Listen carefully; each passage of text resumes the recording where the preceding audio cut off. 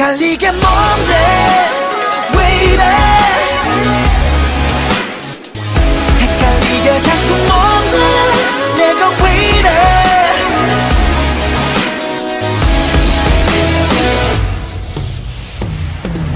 매일 아침 습관처럼 연락하고 끊어질 듯 말 듯한 답장에 답장을 해 사실 반은 기억도 안 나. 마치 우린 연애하던 사람들보다 서로를 잘 알아고 확실한 듯 확신한 듯 서로를 부르는 말도 있어.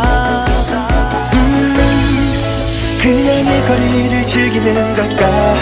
장난보다는 너무 중요해 네가. 이게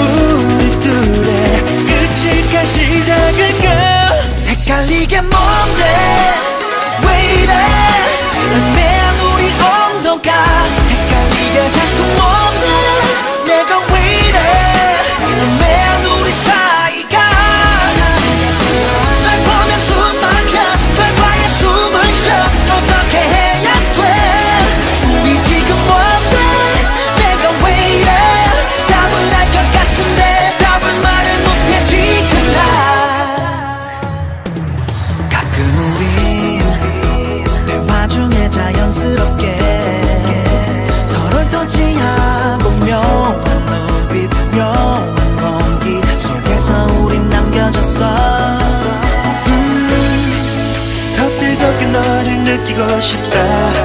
뜨거워져도 감당할 수 있을까? 이게 우리 둘의 끝일까 시작일까